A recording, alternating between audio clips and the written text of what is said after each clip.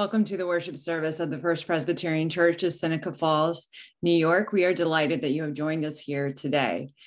Um, I earlier recorded this, and you may have caught a portion of the live service as we attempted again to stream online, but we lost um, the sound halfway through the First Testament reading. So um, this is the June 13th worship service 2.0 but we are going to do it um, with as much enthusiasm and energy as we did this morning as we were worshiping together. So let us say now our mission statement be welcoming, be compassionate, be you bravely, be community. I have just a few announcements. Today is my last Sunday before I head off on my sabbatical, but I am working throughout this week. So if you need to touch base with me before we I leave, um, I'm more than happy to. Please send me an email or call the church office or call my cell phone, and I would be delighted to get together with you and chat before I leave. Otherwise, I will I will be returning uh, the week after Labor Day. Let us call ourselves to worship this day.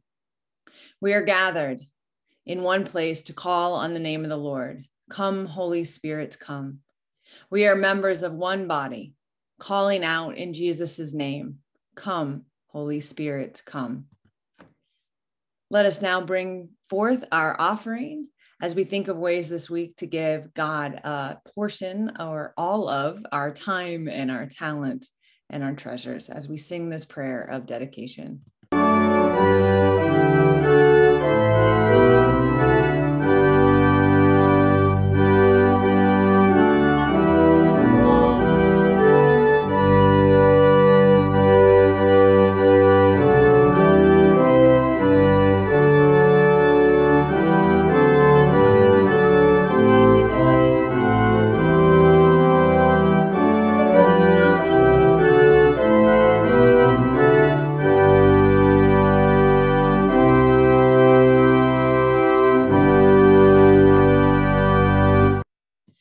Now join together in our prayer of confession.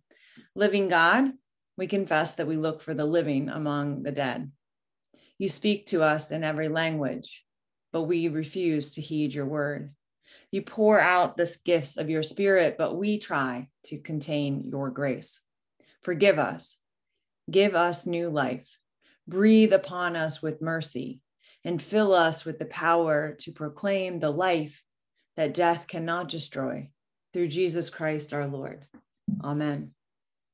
Hear these words of assurance. Take courage. God's Spirit empowers us to move from the ways of death to the ways of new life. In Jesus Christ, we are forgiven and hope is renewed. May the peace of Christ be with you and also with you. And I ask you share the peace of Christ with everyone you meet this week and right now with anybody who may be in watching this with you. Yes,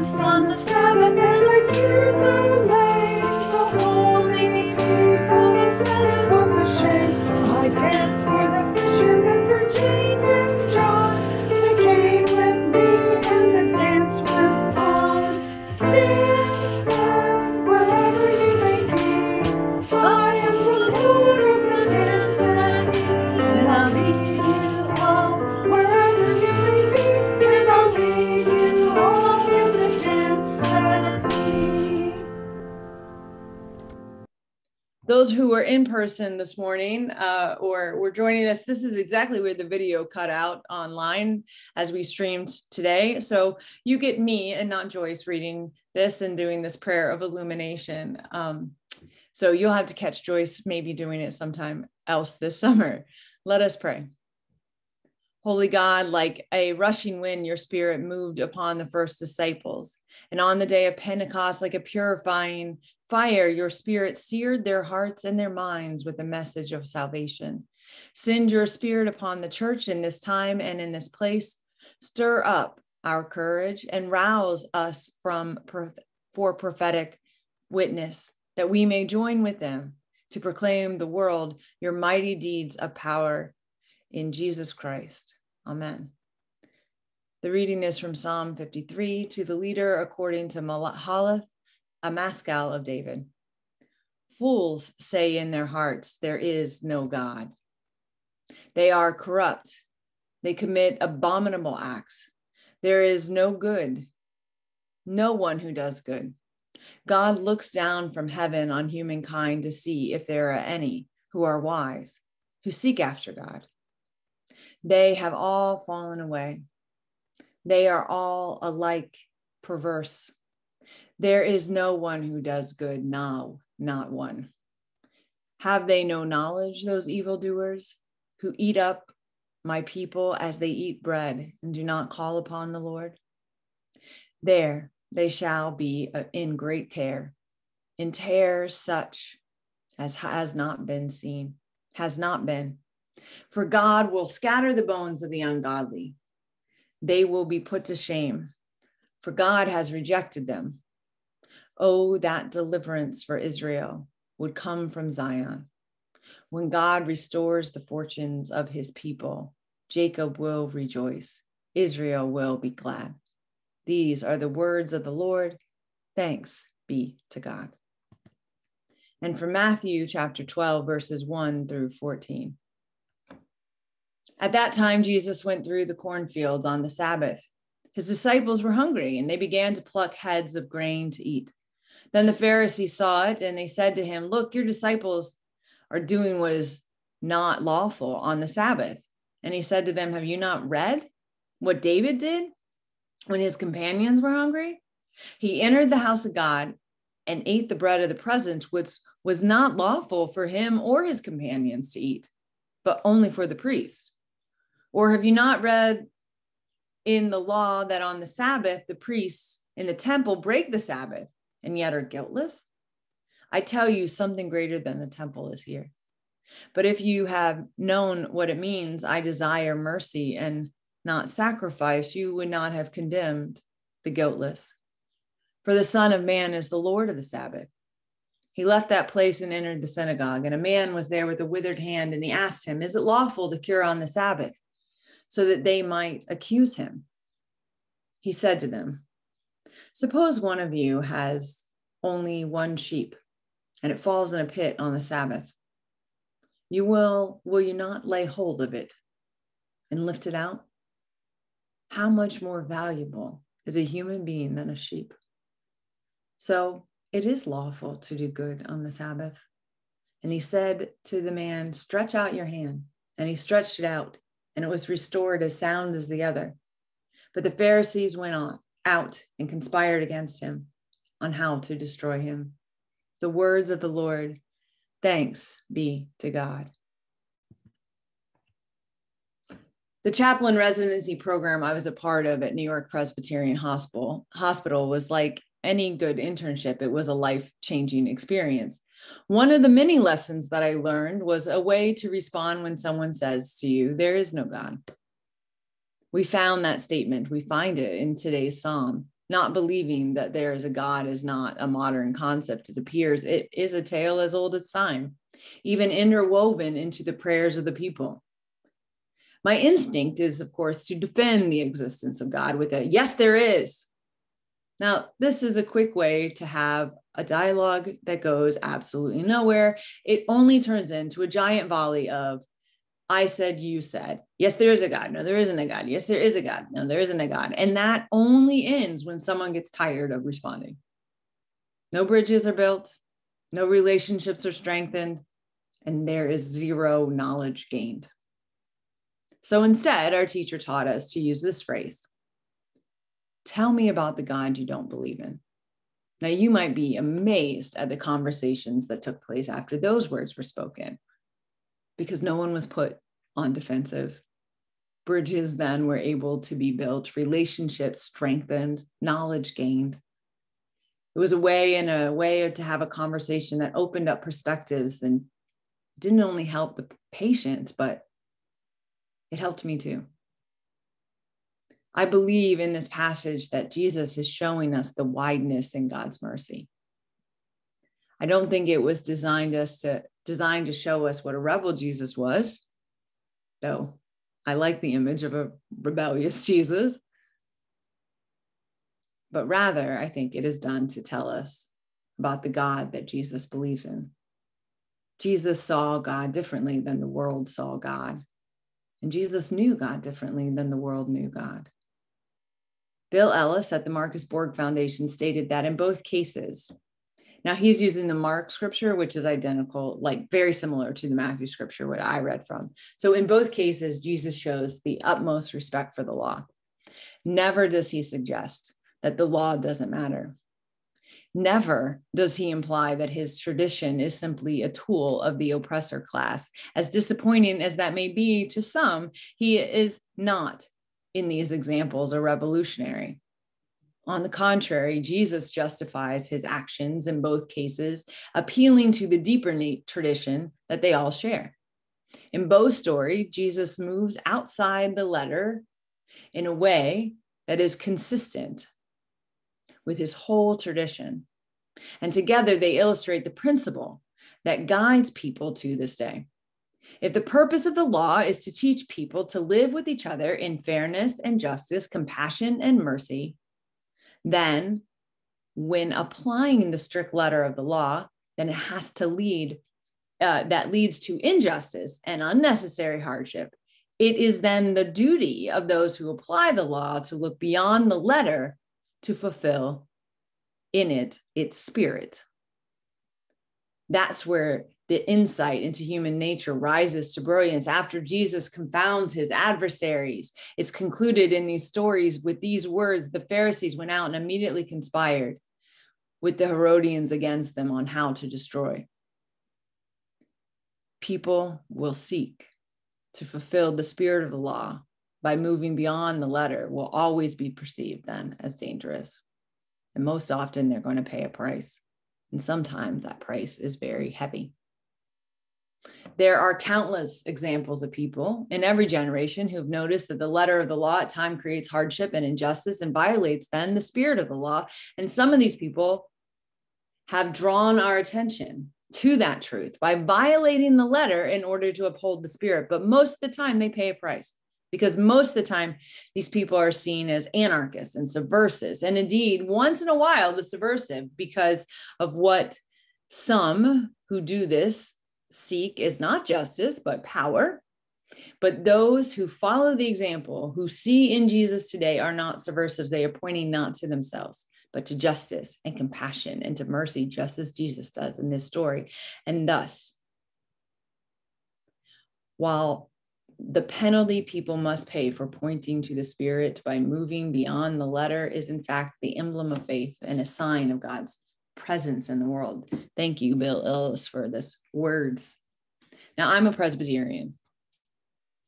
And a huge reason I'm a Presbyterian is because I'm a person who loves rules and laws and structures. I want to know the boundaries, I wanted to have order, and I want to know what the expectations are of me.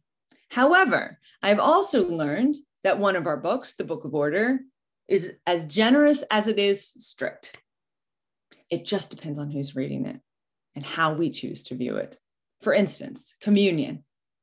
Communion is defined that we must use a grain that is common to the area. That's what the Book of Order says. We have to use a grain that is common to the area. Now, that can be bread, but the Book of Order does not say it has to be white wonder bread because Jesus took bread and broke it uh, from a grain common to the area.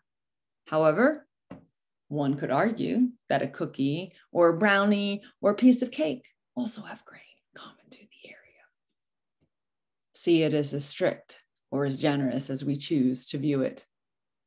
The letter of the law and the spirit of the law is not a new modern concept either. Paul speaks about them in Second Corinthians chapter 3 verse 1 through 6 when he says, "Are we beginning to commend ourselves again?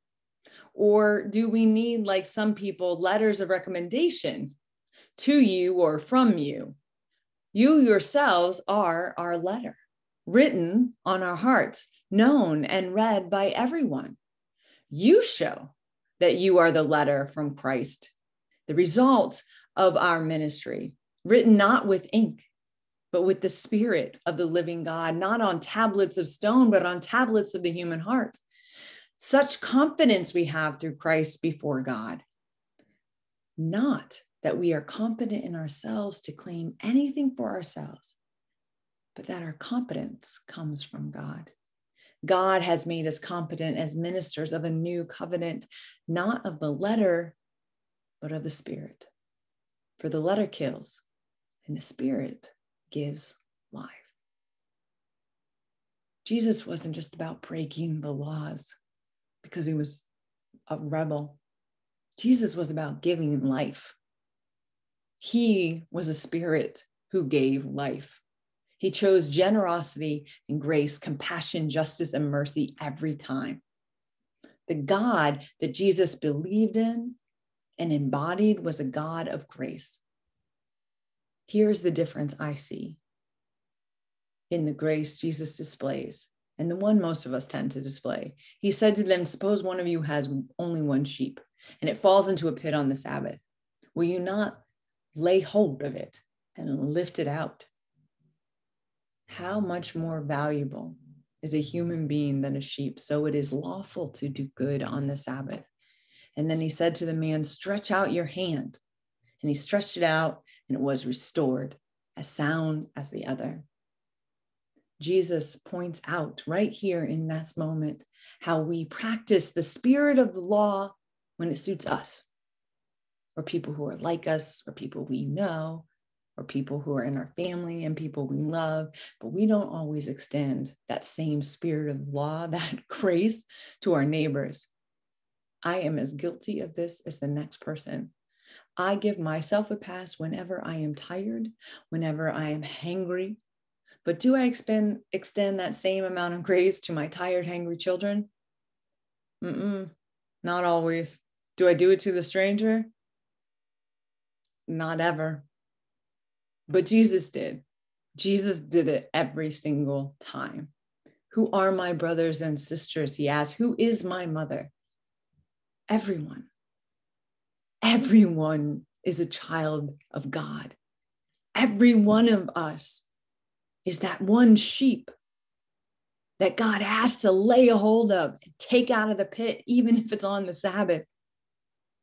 There is a wideness in God's mercy the question I have to ask myself all the time is if there is a wideness in my mercy too.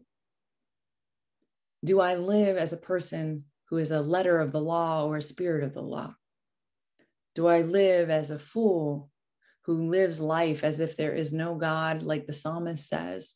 Or do I live life showing others about the God I believe in, like Jesus did? Amen.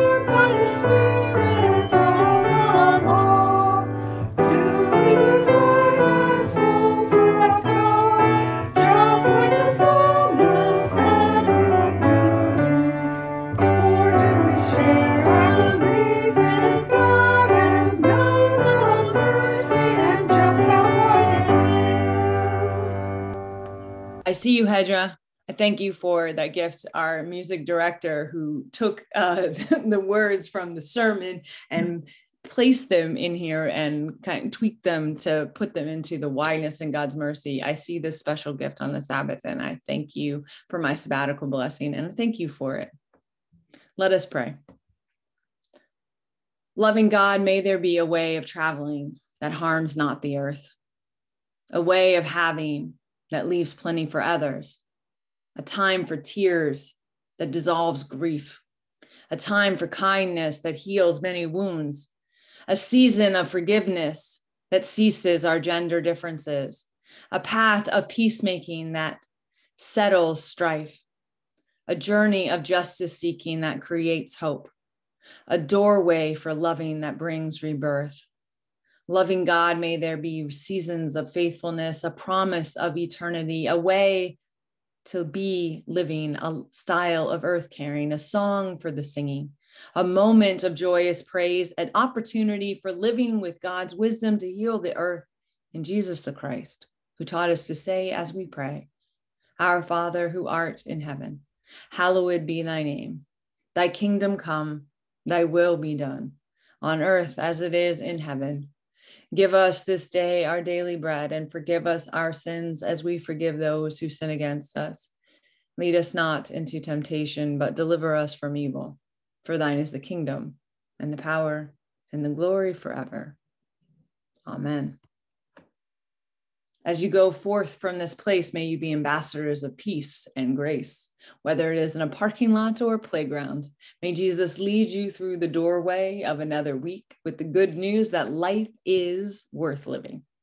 Regardless of what you do or where you are, grace abounds. So may you go forth with eyes open to see the miracles of God's world.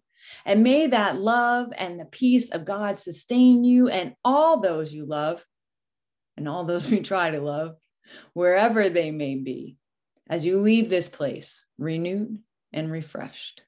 Amen.